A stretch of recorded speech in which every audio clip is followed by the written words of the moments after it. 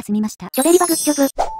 さあ、いーちゃんさん問題です。恋の問題ならお任せあれ。一生来ることない難題ですか？ひどい甘いハミー。まあとりあえずその銃をしまいたまえよ。毎回ほんと疲れるずよこのやりとり。僕は何回やっても飽きたらないがしんど。それで問題って？あなたのことですから今回やること忘れてるのではないかと思いまして。うん正直忘れた。殺すぞ。せめて言い訳の一つか二つかませよ。というのは冗談でしてお寿司食べたい。今回はアーマープラスの要素を進めるぞ。そういう小細工な小ネタはイライラするんでやめてもらってもいいですか？まあまあ、僕の記憶はスパコン並みなのだよ。すぐわかる嘘も蹴飛ばしたくなるんでやめてもらってもいいですか？どしたんゆかりん今日すごいご機嫌斜め丸やん。自分の胸に聞いてみてください。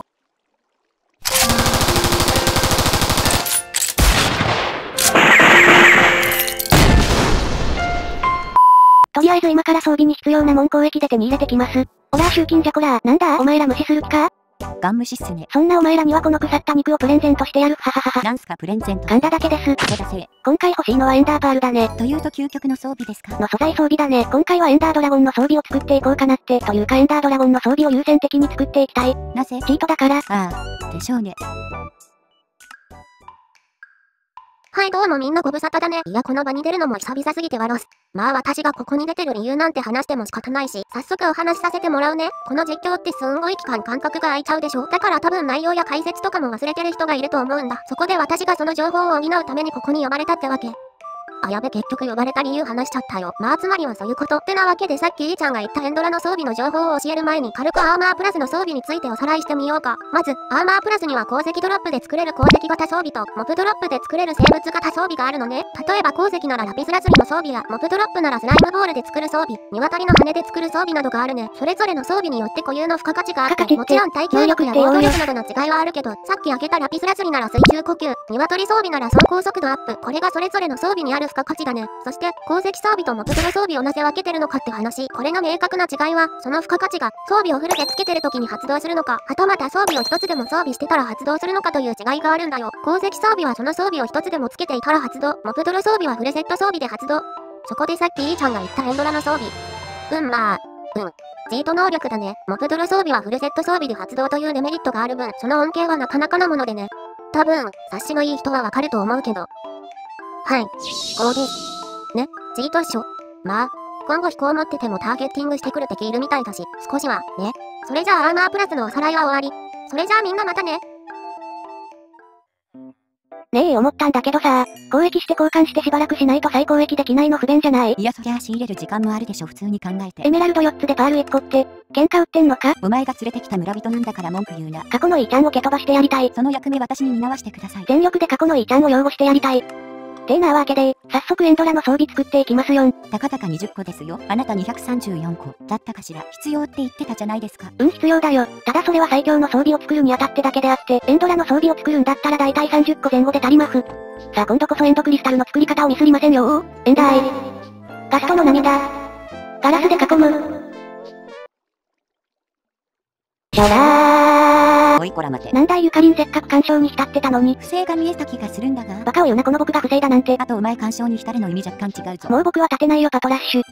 それでは作成の儀を。そこまでまがまがしいものではない。作成の儀をも。しかよ。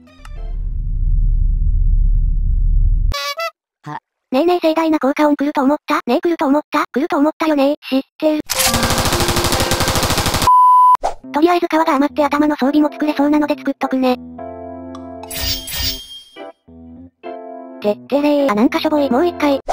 誰が効果音担当おめえだよ。どうよ。頭とプレートだけちゃあねえ。効果とかないんですよね。ないです。でででででも見てよこの胸あたりのまがまがまがまがまがしく光る紫色の光ご。めん後半なんて言って。まがまがしく光るムラムラしく光るガガガガガガガガガ。やばいこいつついに頭ばくりやがっまあどうせ見た目だけのハリボテだけどね。いきなりスンと素に戻るの腹立つんでやめてもらってもいいですかてなわけでマイクラ要素はこんなもんでしょう。ではではコメント返しいきますよ。というわけで皆さんおはこんばんちは。今回は私がコメント返しに馳せ参じました。東北家の末っ子キリパンです。え、お前前出ただろ。もっとこれから少数になりつつあるメーカちゃんたちを出せ。うっせえわ。こっちとら色々こいつのせいで整理できてねえんだわ。誠に申し訳ねえ。まあ、とは言っても大人の事情が絡んでくると私の出る幕はないんでおとなしく従いますよ。言っとくけどあの妖精は私より年上だからな。ロリみたいな感じで出るけど私の方がれっきとしたロリだからな。ロリ枠は絶対渡さないからな。なんだったらタコ姉様の方が。キリタンストップ。おっと失敬。ではコメント読んでいきますよ。いーちゃんさんの動画最高です。ゆかりさんかわいい。デレがかわい。ゆかりさん、どうかい？ちゃんを愛してあげて金融最高。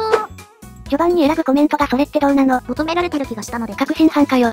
キリタン、もうちょっとコメント選びは厳選しましょうね。へへへ。これがクソガキムーブ。戦艦ナガモンは、呉海軍交渉で建造された戦艦で、連合艦隊機関を最も長期にわたり務め日本海軍の象徴として長く国民に親しまれたものになります。アメリカのクロスロード作戦で、2度の核爆撃に耐えた戦艦です。申し訳ないです。言いたくなりました。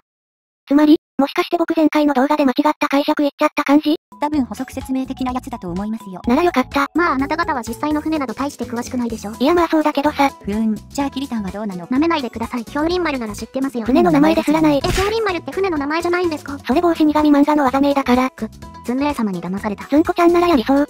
追加するボスは、タクティカルフレームとかワースポとか。前回話したボス追加の案ですね。タクティカルフレームは考えたんだけど、僕が新コレ実況を始めようと思ったきっかけの人と被るからね。ではオアスポは？まずオアスポがどういったモッドかというと、うんまークソ強い怪獣を追加するモッドだね。新コレキャラとのパワーバランスとかどうなんですか？うん、オアスポのパワーバランスをいじれたらあるいはって思うけど、なんせ怪獣がデカすぎるんだわ。新コレを知ってもらうための動画なのに、怪獣がデカすぎるとキャラよりそっちに目がいっちゃうでしょ。そっか、結構ボス選びって大変なんすね。まあそうは言っても編集力よ。動画の編集力でそこら辺はどうにかなるかもしれないから、オアスポは候補には入ってるので教えてくれてありがとうだよ。なぜかグモッドとか入れないんですか？痛いとこついてくるね。まあ入れてもいいんだけど、なんかデフォルトのブロックでの限界に挑戦してみたいという意地が、あなたの意地は余計なものばっかなので別にそこはあまり気にしなくてもって思いますけどね。いろいろ落ち着いたら入れてみるよ。あ、逃げたな。全然カンコレ知らないけど空飛んだりするんだ。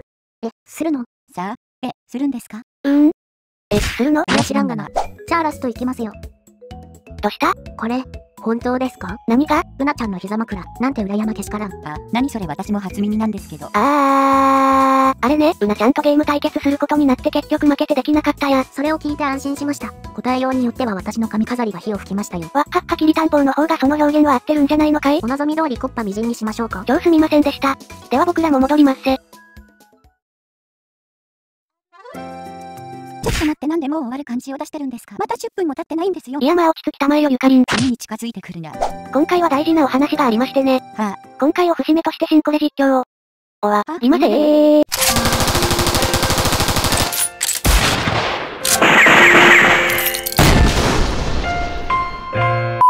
うんとりあえず半分冗談で半分本当だからまあ聞いてよ。次回から新コレ実況。新シリーズ始めまーす。なんだそういうことですか？びっくりした。言ったろ？新コレは何としてでも続けるって。ただ半分本当ってのが気になりますね。うんだってゆかりんはここでバイバイだもん。冗談。ですよね。いいやほんと。な、なんでですか？今まで一緒に頑張ってきたじゃないですか。ちょっと待ってくださいよ納得いきません。なんで急にそんな、そんな、せっかく安心できる場所だったんです。お願いです。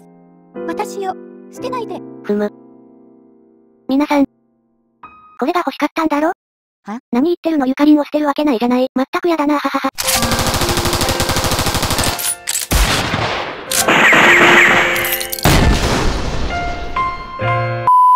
ちゃんと納得いく理由を教えないと許しません。うんまあ受け入れてほしいところは本当だからよね。新コレが新シリーズに入ることによってサポーターの変更をすることにしたんだ。え、でも、結局は私、合格ですか？まあ最後まで聞きなって、ゆかりんにはちゃんと新コレの席を用意してる。次シリーズでのサポートしてくれる人のサポートをしてほしいんだ。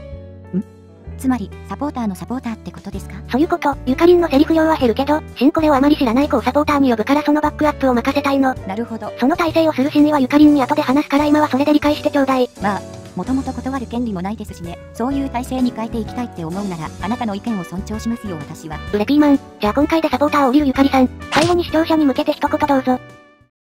皆さん、私がサポーターの新コレ実況に今まで付き合っていただきありがとうございます。まあまあ落ち着けやないかみ。お前ほんと許さん。客人がいるのに本当に賑やかですね。まあそれが日常になってたら楽しいんじゃない？東北も刺激的な日常欲しい。あそこまでハードなのはノーセンキュー。ねえうなぁ。ん？私には膝枕してくれんの？え、何？されたいの？いやなんか、なんとなく聞いただけだけどさ。いーちゃんさんとうなのあのやりとりのコメント拾っちゃってさ。ああ、結局私がゲームに勝ってやらなかったってやつか。うーん、別に東北なら無条件でしてもいいよ。まそう、そこまで食いつくとは。じゃあ早速お願いしていい？その話はやまたれごめん二人とも、止められなかった。どっちがうなちゃんの膝枕をしてもらえるか我と勝負だきりたんよ。いや、お前にする膝枕なんてねえし。だと、というか、最後聞きそびれましたけど、新しいサポーターって誰なんですか？誰って、